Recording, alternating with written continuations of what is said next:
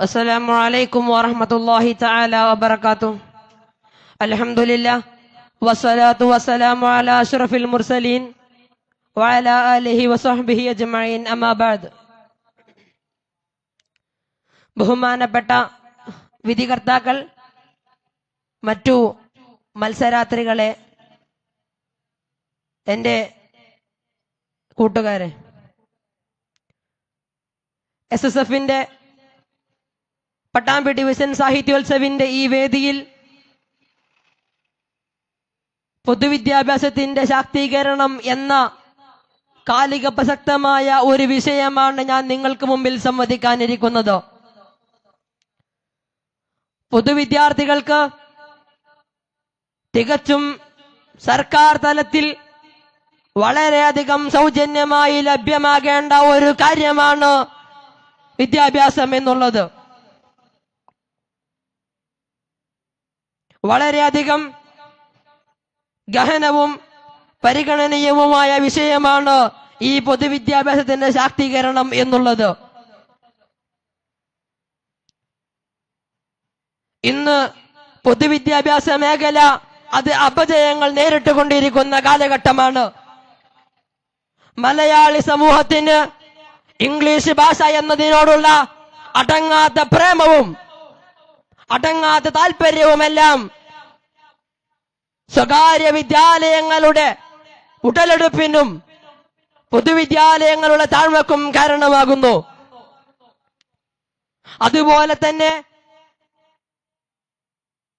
പണം നൽകിയിട്ടാണെങ്കിലും തന്റെ മക്കൾ പഠിക്കുന്നത് സ്വകാര്യ വിദ്യാലയങ്ങളിലാണ് എന്ന് പറഞ്ഞുകൊണ്ട് തന്റെ തറവാടിത്തവും തന്റെ അജണ്ടയുമെല്ലാം പുറത്തറിയിച്ചുകൊണ്ട് നാലാൾക്ക് മുമ്പിൽ ആണത്തത്തോടുകൂടി എണീറ്റ് നിന്നുകൊണ്ട് എന്റെ മകൻ അവൻ സ്വകാര്യ വിദ്യാലയത്തിലാണല്ലോ പഠിക്കുന്നത് എന്ന് പറഞ്ഞുകൊണ്ട് നെഞ്ചു വിരിച്ച് നടക്കുവാനുള്ള മലയാളിയുടെ വ്യാമോഹവും.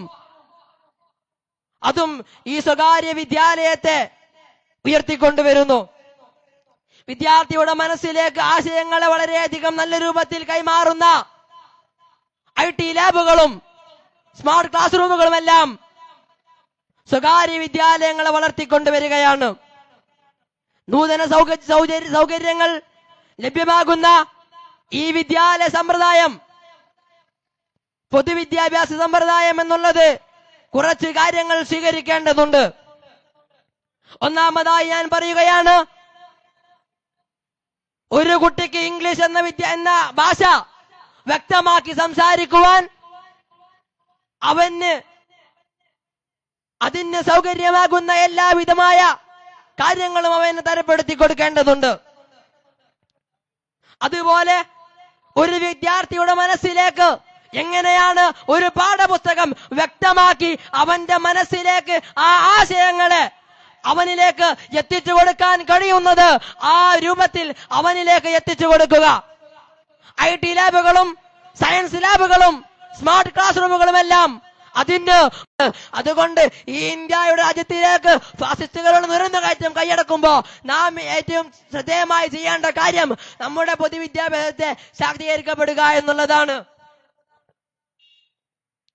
പൊതുവിദ്യാഭ്യാസം സംരക്ഷിക്കുക. ജനാധിപത്യം നമ്മുടെ നമ്മുടെ രാജ്യത്തെ രക്ഷിക്കൂ എന്ന മുദ്രാവാക്യം നിങ്ങളിലേക്ക് സന്ദേശമായി കൈമാറിക്കൊണ്ട് അസ്സലാമു അലൈക്കും തആല ഇതോടുകൂടെ ഹയർ സെക്കൻഡറി